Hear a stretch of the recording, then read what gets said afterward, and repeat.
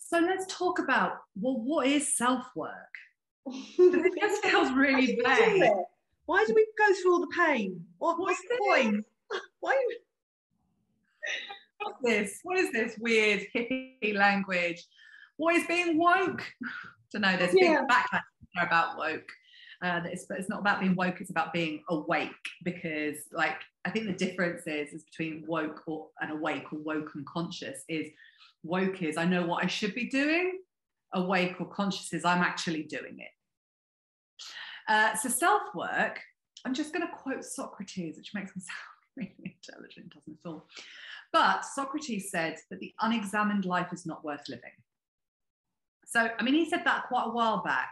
And I feel like self examination, obviously, we had Freud, we had Jung, we've had loads of psychotherapists and psychologists between then and now. But I think that it being part of the mainstream has only actually really happened since sort of like the 90s. Um, and since we you know we have people like Oprah, these are huge, huge global players. And so I truly believe that the generation tail end of Generation X our gift to humanity, as every generation has a gift, our gift to humanity has been this uh, deep desire for self exploration. Uh, and actually, I think it's quite interesting because if you actually look at the baby boomers, so you know the parents of the Gen Xers, they were quite mocking about things like counselling and all oh, stiff upper lip. You don't want, oh no, don't tell a stranger that or anything like that. Actually, I think that there was a an almost a lack of resilience that came into Gen Xers, which we're also seeing in the millennials and the Gen Zers, Gen Zers, I don't know how to say that, the Gen Zs, where that lack of resilience, the baby boomers would have seen as a massive failing.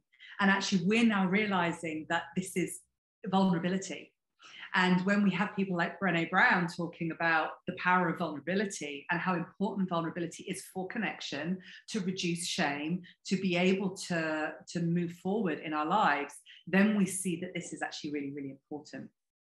So, what is an examined life? What, what is self work?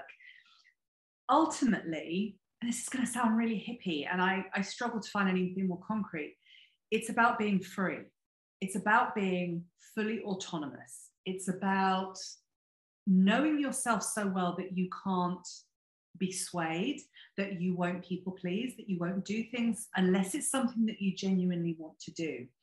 You are no longer a product of your conditioning from your past. Because if you think about it, when we're children, we're told how to be good based on what good looks like for someone else. So, our parents or our teachers, we're never taught to do what's right and what's good for us.